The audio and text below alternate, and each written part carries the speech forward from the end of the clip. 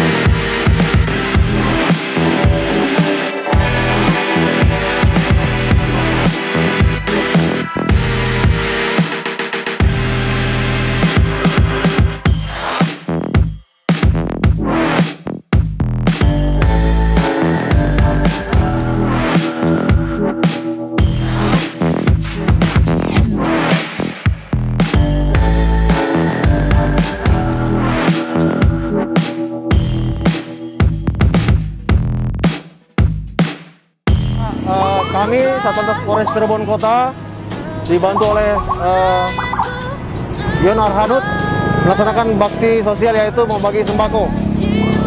Kami juga membuat satu unit kendaraan yaitu warung keliling Satlantas di mana di dalam warung keliling tersebut terdapat sembako baik itu beras, sarden, minyak, dan juga indomie serta uh, sembako lain. Kemudian untuk warga masyarakat kami akan datangi ke tempat warga masyarakat tersebut dan kemudian akan kami persilahkan untuk mengambil sendiri berapa yang dibutuhkan. Jadi ini sifatnya gratis. Jumlahnya berapa nih? Untuk malam ini kami eh, tabur 100. Satu. Ya, akan kami laksanakan sampai dengan eh, 17 Agustus karena